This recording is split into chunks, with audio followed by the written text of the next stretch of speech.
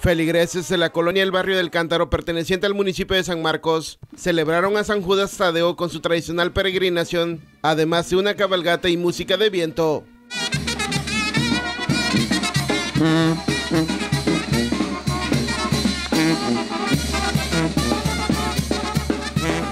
Los festejos a San Judas Tadeo en el barrio del Cántaro nace hace 12 años y hoy recuerdan las festividades al santo de las causas difíciles.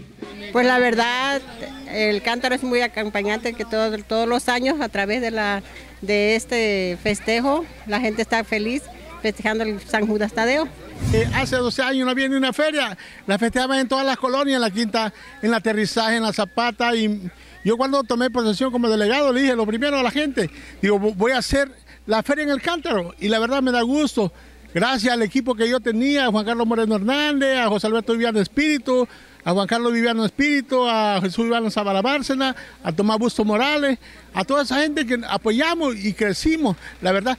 Precisamente todos los habitantes hacen unidad, hacen un solo equipo, todos cooperan con algo o personas que se encuentran del mismo, este, que se van a Estados Unidos y, creen en San Judas. De los casos difíciles le piden pasar a Estados Unidos y cumplen sus promesas y nos apoyan. Y es una cooperación que nos da toda la colonia y sobre todo que ya lleva años festejándose. Se da como el fundador David, que ya lo mencionó hace rato, la algarabía estuvo presente en un recorrido por las avenidas principales y posteriormente a la iglesia San Marcos Evangelista, donde se ofreció una misa en honor a San Judas Tadeo. Daniel Osuna Niño, miembro del comité de festejos, agradeció a todas las personas por apoyar a esta celebración.